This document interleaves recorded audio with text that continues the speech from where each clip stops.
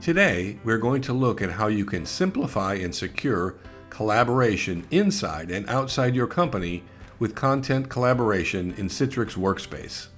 Our story starts with Lisa, the HR manager, collaborates with Nicole, the hiring manager, to create a statement of work contract.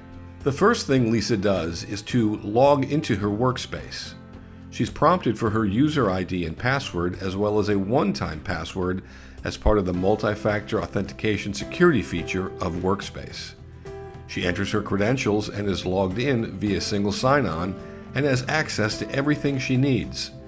There's no need to re authenticate to reach her apps, desktops, files, or anything else within her workspace. She can even get to files from third party cloud repositories like OneDrive, Dropbox, or Google Drive without having to re authenticate. Citrix Workspace can also connect to a SharePoint or a corporate network drive. Lisa has already created a statement of work contract. However, she's looking for feedback from her coworkers. Rather than start an email chain with multiple comments and conflicting directions, she uses Citrix Content Collaboration's feedback and approval workflows to collect final approvals and comments directly within the document. She goes into her workspace to search for the file. She can preview the document and then send that to Nicole for feedback. Nicole receives an email as well as a notification in Workspace that a document is waiting for her feedback. Nicole opens the document and is shown some helpful guides and can see the document is in progress. She reads the document and adds her feedback and comments. That shows up on the side. Nicole completes the process by selecting Finish. The document is then sent back to Lisa to review, and she is notified by email and in Workspace. She can now respond to the feedback by selecting Mark as resolved, Agree, or Reply to the feedback. She edits the document and saves it in her workspace. The final document is now ready to share with others. There are many ways to share documents in Citrix Content Collaboration, and they all provide security controls. Lisa can send a link to the file to both internal and external users. The link can be generated in Workspace or through a file manager and can be pasted into other applications like Slack or Teams. Emails can be sent directly through Workspace or with an add on in Outlook. Lisa has different security options available for each link. In this example, she will share the document with a new contract employee, Mark, and will restrict the user to only view online with a watermark and unable to download. Mark gets an email with the link to the file and selects it. He is then taken to the Citrix Content Collaboration website where Mark is instructed to log in and then is taken to the document to view. As you can see, the document has a watermark embedded and it's not available to download.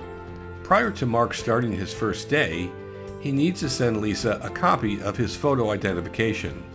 Lisa is able to collect any documents by sharing a link for Mark to upload files. This way, large attachments and sensitive files are not shared via email. Citrix Content Collaboration administrators can create reports, policies, and control user activities. They also have access to audit and view oversight tools to help compliance and risk officers prevent data leakage that leads to violation of government regulations like GDPR, HIPAA, and many others.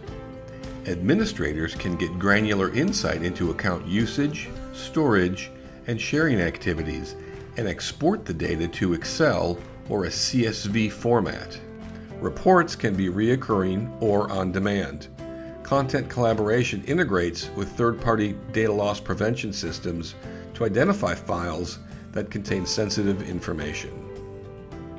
Citrix Analytics for Security can be added to provide more granular control by preventing security events before they happen. It's on 24 by 7 by 365 and monitors user activity around the clock to ensure your data stays safe. It can generate valuable insights and automatically execute more focused actions to address user security threats. Analytics for Security aggregates and correlates data across Citrix virtual apps and desktops, networks, Citrix Endpoint Management, Active Directory, secure workspace access, and Citrix content collaboration. It also includes data from third-party file cloud repositories like OneDrive, Google Drive, SharePoint, and network shares. By examining a user with a high security score, we can see what events caused the increase in security risk. In the detailed view, we can see the data source of the event. Administrators can create policies to trigger actions from a score level or a specific event. The actions include disabling a user, notifying an administrator, start session recording, and many others. Key use cases include preventing ransomware attacks, stopping company insiders from stealing data, and monitoring and protecting remote workers.